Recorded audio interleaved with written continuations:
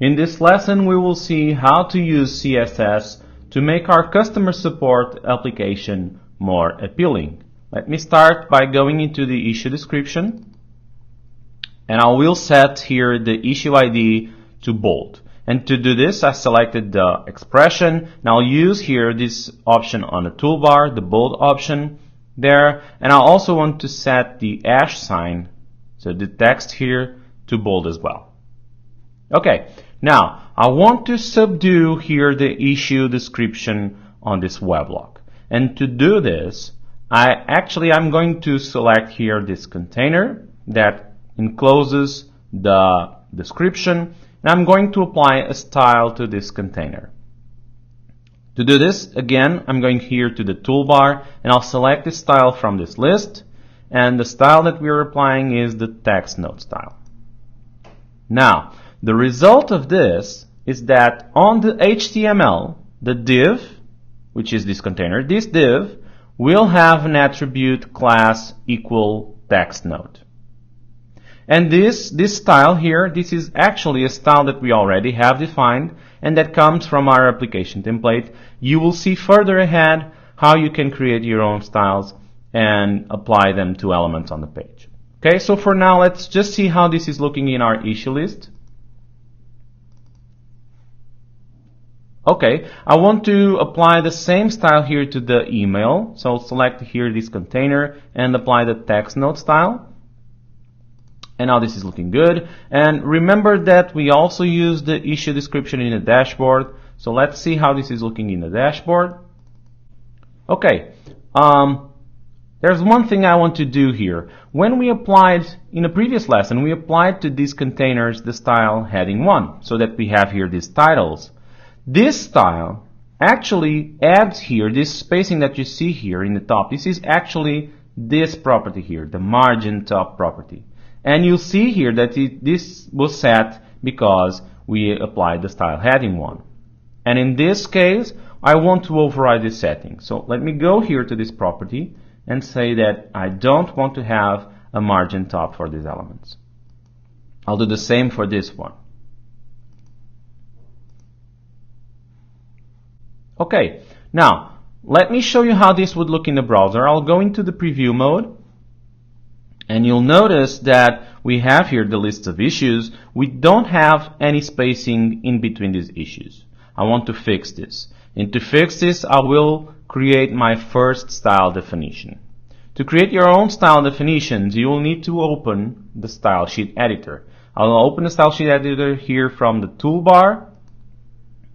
And as you notice, there are three tabs in the style sheet editor. So let me go into each one of these tabs so that you understand what they are and what you can do here. You'll notice that the first tab, this is called dashboard. Dashboard is actually the web screen we are on in our application. So this, this first tab, this is the web screen we are on, and this is where you're going to put your most specific definitions. Okay, the definitions that you only want to use in the dashboard web screen. Now, the second tab here, it's called customer support. This is actually, let me show you here, this is actually the theme of your application. See here, customer support. So this is where you're going to put your more generic definitions, the definitions that you want to use in your application, in all the web screens of your, of your application, or in several screens of your application. Okay? The final tab we see here, the Chicago tab, this is actually, let me show you here, I'll select the customer support theme. This is actually the base, the base theme of your application. And you'll notice, let me select here, that this is where you have all the styles defined in your, that come from your application template. You will also notice that these definitions are read-only. So you'll see further ahead how you can redefine these styles here that come from, from the Chicago theme. You'll see how to customize them, how to redefine them. Now, let me go here into the dashboard and let me paste here, let me paste here my first style definition. Okay, here we have it, issue container. Now that I have defined this style, I want to apply it to the page. Okay, so let me just close this and let me go here to the lists. I will enclose these web blocks. I, I, I can't apply the style directly to the web block, so I'll need to enclose it. I need to enclose it in a container. There we have it. And now I will apply the style to the container. So let me go again here to the toolbar. You'll notice that now we have here the issue container, the style that we just defined. Let me apply it, and there we have it, the margin bottom that we defined on that style. Let me do the same here for the low priority issue. So again, enclosing container and set the style. Okay, one more thing I want to do here. I want to color these titles that we have on the dashboard according to the priority. And again, I will need to create some style definitions. So let me go here into the style sheet editor and in this case, these styles that I'm going to create, I want to apply them here to the titles, but I want to reuse them for the titles in the high priority and the low priority pages. So in this case, I will put the styles here on the theme tab. Okay, again, let me just paste it from the clipboard. Don't worry too much about these style definitions. You'll be able to download these from the video lesson resources. Okay? Now, let me close this and let's apply the style here to the titles. Now, we applied styles to containers. One thing you should notice is that you can also apply styles to other elements on your page. In this case, we're going to select here this text, and you'll notice that we also have here the style property in the properties pane. So every time you have here this style property, this means you can apply a style to this element, and let me apply here in this case the high priority. Okay, let me do the same for the low priority.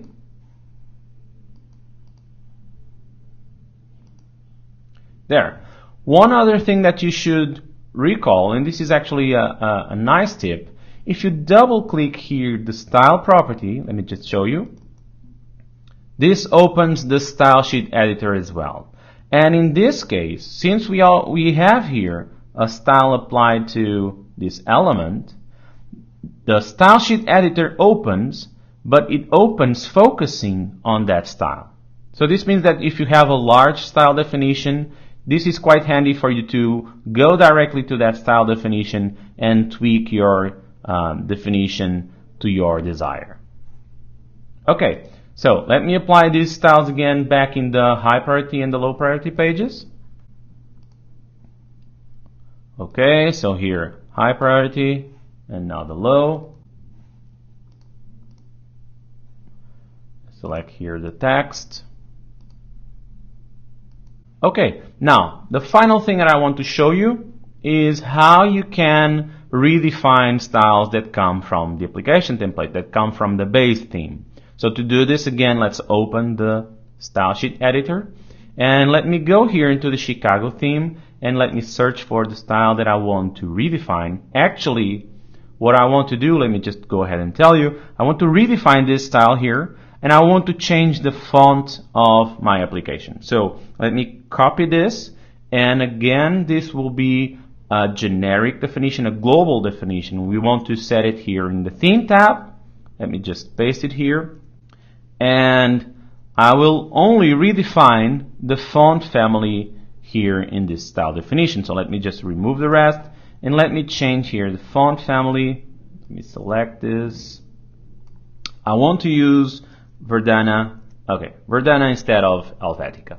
So there you have it. You see the, the change immediately reflecting here on the page. And let me close this. And if we go into the dashboard, for instance, you'll notice that the font is also changed here. Okay? So we're pretty much set and done. Let's just publish and see this looking, uh, let's see this in, in the browser. Okay, so here we have our dashboard with the colors on the titles, the issue ID in bold, some spacing in between these elements in the list, and also here on the high priority, the colors on the titles, and here as well, and the font is changed to Verdana. That's it.